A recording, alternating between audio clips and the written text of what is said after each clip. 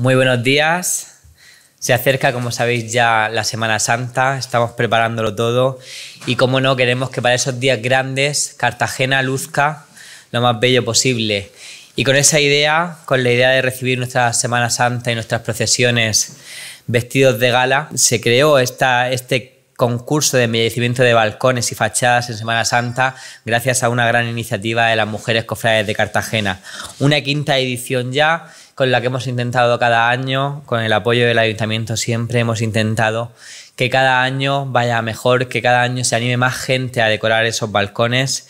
Y la verdad es que nuestros balcones, que son balcones históricos de esos edificios modernistas que ya de por sí son bellos, pues aún más el engalanarnos para estas fechas, el engalanarnos y adornarlos con, pequeños detalles muchas veces que no hace falta que sean grandes cosas, pero con detalles para que al paso de la Semana Santa luzcan mejor que, que, ningún, que ninguna fecha del año, yo creo que, que, es una gran iniciativa y quiero agradecer, como siempre, a la Asociación Mujeres Cofrades que lo tengan en cuenta y que otro año más saquemos estas bases. Y animar a toda la ciudadanía a que se, se, decoren esos balcones. Incluso hay gente que cede su balcón para que otros lo decoren. Eso también es otra, otra idea bonita. O sea, que si hay alguien que quiera decorar algún balcón y por lo que sea no encuentra balcón, seguro que hay alguna familia que sí que cede. La ciudad de Cartagena eh, exprese exactamente eh, lo que siente y, y, cómo se emociona con la Semana Santa. Y qué mejor manera pues, que engalanar nuestros balcones pues, para coger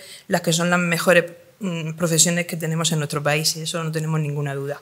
El, concurso, a partir de mañana ya está abierto el plazo de inscripción, podéis acceder a, pueden acceder a, los documentos para rellenar la documentación en, nuestra página web, o sea, a través de nuestro blog. Incluso yo también creo que el propio ayuntamiento también dará acceso a, mm. esta, esta documentación.